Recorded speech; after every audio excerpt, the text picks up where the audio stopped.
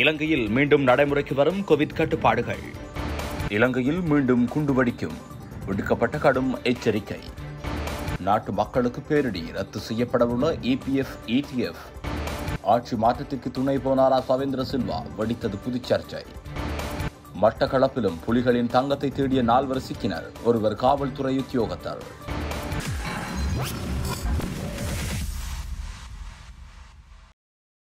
இலங்கையில் மீண்டும் கோவிட் கட்டுப்பாடுகள் நடைமுறைக்கு வரவுள்ளன. கோவிட் தொற்றுக்குள்ளான ஏழு பேர் நேற்றைய தினமும் நான்கு பேர் நேற்று முன்தினமும் அடையாளம் காணப்பட்டுள்ளதாக அரசாங்க தகவல் திணைக்களம் தெரிவித்துள்ளது. இது இலங்கையில் கோவிட் நோய் தொற்றுகளின் எண்ணிக்கை குறைவாக இருந்த ஒரு காலத்திற்கு பிறகு மீண்டும் ஏற்பட்டுள்ளமையினால் அதிக அவதானம் செலுத்த வேண்டிய நிலை நாட்டில் ஏற்பட்டுள்ளதாக குறிப்பிடப்படுகிறது. இதன் காரணமாக சுகாதார ஆலோசனைகளை தொடர்ந்தும் பின்பற்றுவது மிகவும் அவசியம் என சுகாதார சேவைகள் பணிப்பாளர் நாயகம் அஸ்வல குணவர்த்தன ஆலோசனை வழங்கினார். பலர் கோவிட் நோய் தொற்று பற்றி மறந்துவிட்டதால் பயணத்தின் போது முகக்கவசம் அணிவது சவர்க்காரம் பயன்படுத்தி கைகளை தவறாமல் கழுவுதல் மற்றும் சமூக இடைவெளியை பேணுதல் போன்ற சுகாதார பழக்க வழக்கங்களை அவர்கள் மறந்துவிட்டதாக சுகாதார சபைகள் பணிப்பாளர் நாயகம் மேலும் தெரிவித்துள்ளார். சிறு குழந்தைகளை நெரிசலான இடங்களுக்கு அழைத்துச் செல்வதை தவிர்க்குமாறு பெற்றோர்களை இதன்போது கேட்டுக் கொண்டுள்ளார் இந்த தொற்றாளர்கள் எண்ணிக்கை நாளுக்கு நாள் இவ்வாறு அதிகரித்து செல்லுமாக இருந்தால் நாடளாவிய ரீதியில் உடனடியாக ஊரடங்கு சட்டங்கள் அமுல்படுத்தி இந்த தொற்றை கட்டுப்பாட்டுக்குள் கொண்டுவர வேண்டியது அரசின் தலையாய கடமை என்றும் அவர் இதன்போது தெரிவித்துள்ளார். இரண்டாயிரத்தி இருபத்தி இரண்டாம் ஆண்டை விடவும் இரண்டாயிரத்தி இருபத்தி ஆறாம் ஆண்டில் பிரச்சினைகள் அதிகமாகும் என தெரிவித்த உதய கமன்புல கடன் குண்டு இரண்டாயிரத்தி இருபத்தி ஆறில் வெடித்து சிதறும் என்றார். நாடாளுமன்றத்தில் சர்வதேச நாணய நிதியத்தின் கடன் திட்டம் தொடர்பான விவாதத்தில் கலந்து கொண்டு நேற்றைய நாளில் உரையாற்றும் போதே அவர் மேற்கண்டவாறு தெரிவித்தார். இந்த விவாதம் முழுமையடையாது. விவாதத்திற்கு தேவையான முழுமையான ஆவணங்களை நாடாளுமன்றத்தில் முன்வைக்காமல் இந்த விவாதம் நடத்தப்படுகிறது. ஐஎம்எஃப் திட்டம் ரூபாய் இல்லாததால் தொடக்கப்படவில்லை. டாலர்கள் இல்லாததால் தொடங்கப்பட்டது. இந்த ஒப்பந்தம் முழுவதும் ரூபாய் நெருக்கடிக்கு தீர்வு உள்ளது. மாறாக டாலர் நெருக்கடிக்கு தீர்வு இல்லை. ஆண்டுக்கு இருபத்தி இரண்டு பில்லியன் டாலர்கள் இறக்குமதிக்காக செலவிடப்படுகிறது. கடனை செலுத்த ஏழு பில்லியன் டாலர்கள் தேவை. இந்த ஒப்பந்தத்தில் அதிக கடனை தவிர டாலர் நெருக்கடிக்கு தீர்வு இல்லை என்றார். தேசிய கடன்களை மறுசீரமைத்தால் ஊழியர் சிவமலாப நிதியம் ஊழியர் நம்பிக்கை நிதியம் ஆகியவற்றை ரத்து செய்ய நேரிடும்.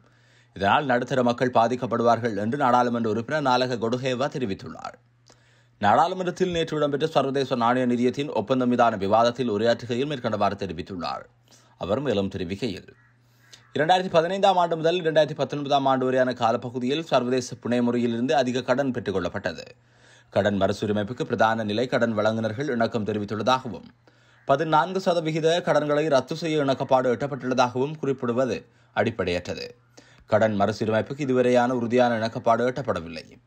சர்வதேச கடன்களை மறுசீரமைக்க வேண்டுமாயின் தேசிய கடன்களையும் மறுசீரமைக்க வேண்டும் என பிரதான நிலை கடன் வழங்குநர்களால் அரசாங்கத்திடம் குறிப்பிட்டுள்ளார் இரண்டாயிரத்தி இருபத்தி இரண்டில் அறகலையா அரசுக்கு எதிரான போராட்டத்தின் மூலம் இலங்கையில் இடைக்கால நிர்வாகத்தை உருவாக்கும் சதிக்கு ஜெனரல் சவேந்திர சில்வா ஆதரவளித்ததாக பாதுகாப்பு படைகளின் பிரதானி மற்றும் முன்னாள் ராணுவ தளபதி சவேந்திர சில்வாவிற்கு எதிராக தேசிய சுதந்திர முன்னணியின் தலைவர் நாடாளுமன்ற உறுப்பினர் பிமல் வீரவங்ச சுமத்திய குற்றச்சாட்டை பாதுகாப்பு அமைச்சு நேற்றைய நாளில் முற்றாக நிராகரித்துள்ளது. மே ஒன்பது இரண்டாயிரத்தி இருபத்தி இரண்டு அன்று நடைபெற்ற போராட்டத்தின் பின்னணியில் இருந்தவர்களில் முதல் திட்டம் அப்போதைய நிறைவேற்று அதிபர் மற்றும் பாதுகாப்பு தலைவர்களை அதிபர் மாளிகைக்குள் வைத்து படுகொலை செய்வதாகவும் ஜெனரல் சவேந்திர சில்வாவின் இந்திய விஜயம் சந்தேகத்தை ஏற்படுத்துவதாகவும் நிகழ்வொன்றில் உரையாற்றிய எம்பி வீரவம்ச தன்போது குற்றம் சுமத்தியிருந்தார்.